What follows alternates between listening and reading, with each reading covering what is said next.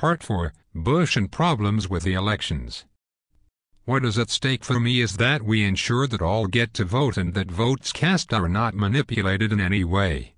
There is no representation if this basic right is removed. The thought that the Republicans would stoop so low as to deny a vote cast or to change it is to subvert the possibility for truth. Whatever the outcome of a free and fair election it allows for all to participate. The milieu of a place where all have said their piece with that small all-important means is to ensure that our society is operating with all its capillaries and veins and that from every part of the body politic a sense of the health and welfare of the state is attended to. The aorta carries blood from the heart to all the organs and structures of the body. The vote is the blood coming back to the heart for an oxygenation of the needs and wants of a people.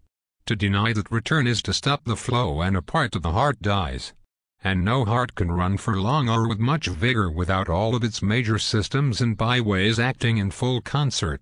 All of our voices, whether Republican, Democrat, Green, Libertarian, Constitution, Alaskan Independence Party, Aloha Aina Party, and the list goes on, almost as diverse as our individual representation of selves need to be heard.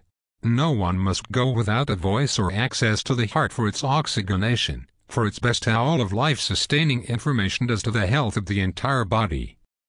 And for this reason, the means to justify an end to our voting rights, as with the implementation of electronic voting machines that can be infiltrated digitally or by registering people to be Republican when they wanted to be Democrats, or any other means to a single party's end, let that not be the end we seek. But let us allow for every man or woman citizen his or her voice, which is his or her vote. 1.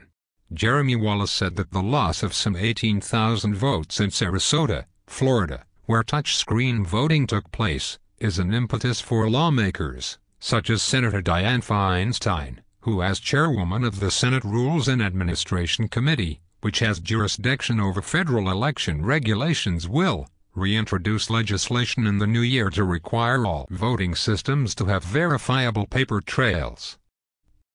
2.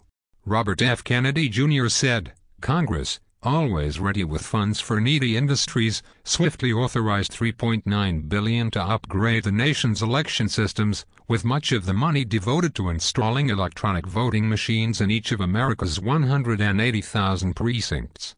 But as midterm elections approach this November, electronic voting machines are making things worse instead of better. 3.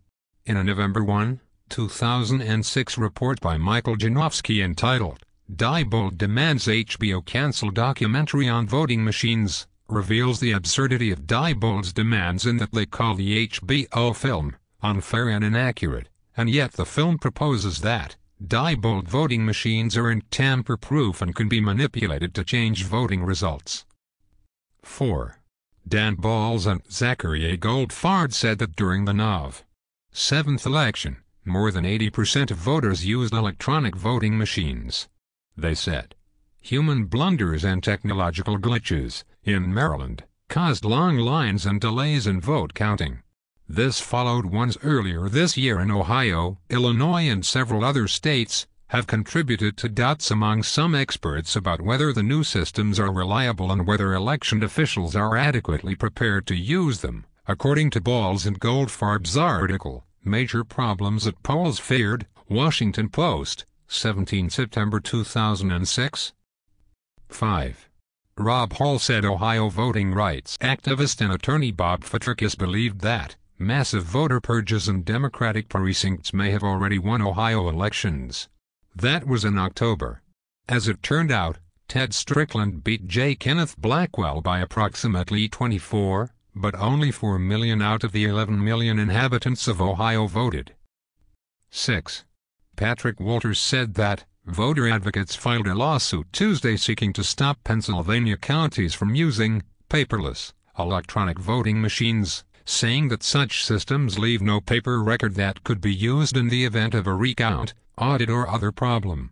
Walters also said in the article titled, Pennsylvania sued over electronic voting machines, that the lawsuit alleges that certifying paperless electronic voting machines violates the state selection code and constitution. 7.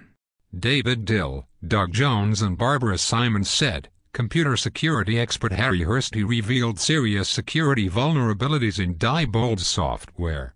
Computer scientist and voting system examiner Michael Shamos in Pennsylvania said, It's the most severe security flaw ever discovered in a voting system. Dill, Jones and Simons said that, basically, Diebold included a backdoor in its software allowing anyone to change or modify the software. Bush and upsetting the balance of power in the region given Iraqi intervention. Associated Press reported on Wednesday, December 13, 2006, that Saudi Arabia has expressed concern that once U.S. troops leave Iraq that the controlling Shiite majority could massacre the Sunni minority believed to comprise a large faction of the deadly insurgency that has claimed thousands of Iraqi civilian and U.S. military lives. The report also revealed that the Saudis are not happy with proposed talks between the U.S. and Iran.